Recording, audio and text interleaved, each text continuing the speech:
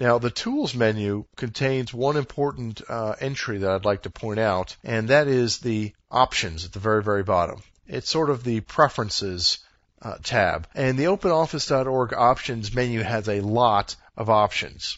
First of all, one can set the default user data in this uh, first box. There's a way to assign how much memory is, is used for OpenOffice, which can be helpful in speeding up OpenOffice. There's ways you can select the colors and the fonts.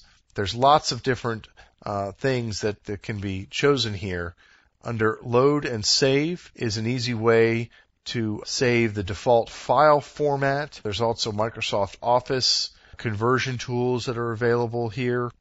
Under paths, back up under the uh, general options, this is where one can set the default uh, file locations, you know, the default place to save files. You can easily change that here. For example, my documents, you can edit this and change the default location where documents are saved. There are also certain settings for just some of the components. As you can see, just the OpenOffice Writer has some options. The OpenOffice Base uh, which is the database program. It has some options here. There's lots of different options that are available. Now, another nice feature of OpenOffice.org is the uh, default ability to save as PDF. Simply going to File and Export as PDF is all that needs to be done to create a PDF document. There's nothing additional that needs to be installed or configured. It works very well, and it's an excellent feature of OpenOffice.org.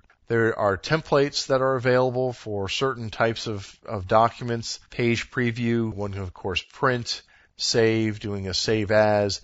It's, it's very common. These options are, are very common and one should feel right at home. Some of the things may be in different locations because it is obviously not Microsoft Office, but virtually all the functionality is here that one would need. Uh, format has a lot of the same information available. That's um, a lot of the different uh, same options as Microsoft Word to change the page settings and the character settings and the alignment and, and all of that. Now, OpenOffice.org Calc is the default spreadsheet, very similar to Microsoft Excel, and a lot of the same user interface uh, aspects are, are similar here in, in, in terms of the various menus that are available, the icons on the icon bar, just like with the Writer program. Additionally, this button over here, just like with Writer, shows you uh, additional functions that icons could not fit on the screen. And it really works just like Microsoft Excel. One can enter in two cells and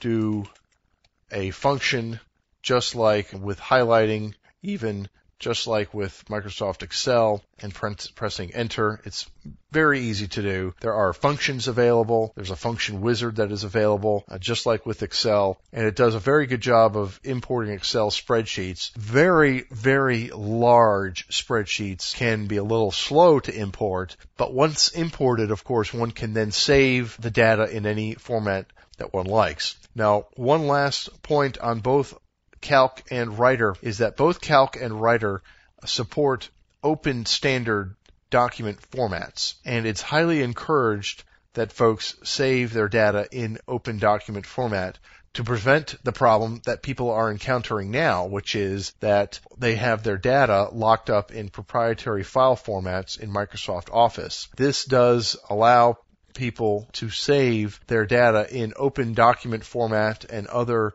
similar formats that, that can be used by other applications that does not lock the data into one specific application. So that is a brief look at OpenOffice.org Writer and OpenOffice.org Calc, which are the OpenOffice word processor and spreadsheet components respectively uh, of the OpenOffice.org Office Suite, which is an excellent full-featured Office Suite included by default with Ubuntu Linux. That's the end of this tutorial. Thank you very much.